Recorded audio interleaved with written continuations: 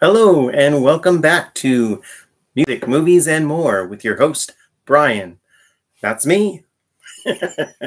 anyway, I just wanted to hop on here and do a remembrance video for actor, screenwriter William Talman, um, who was born on this day back in 1915. He was um, an, an, American actor and screenwriter.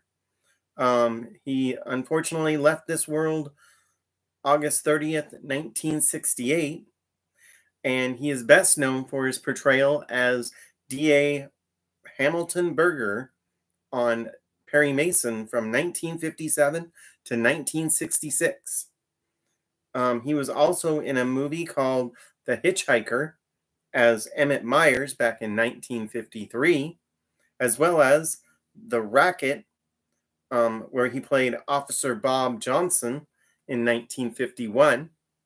And one last thing I wanted to mention was a movie he played where he played Red um, in which was called Red Hot and Blue, where he played Bunny Harris in 1949.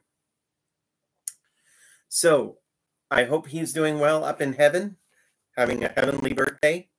And I just wanted to say if you enjoy these videos, feel free to hit the good old like button, subscribe if you haven't already, and share this with somebody you think may get some entertainment value out of it. I, for one, love hearing from you guys in the comment section. If you have a favorite episode of Perry Mason where you just couldn't get enough of Hamilton Burger, feel free to put that in the comments section below this video. And um, as always, I wanted to say thank you for your continued support and also, thank you for watching. If you have a, I hope you have a wonderful day. And remember, live your lives up.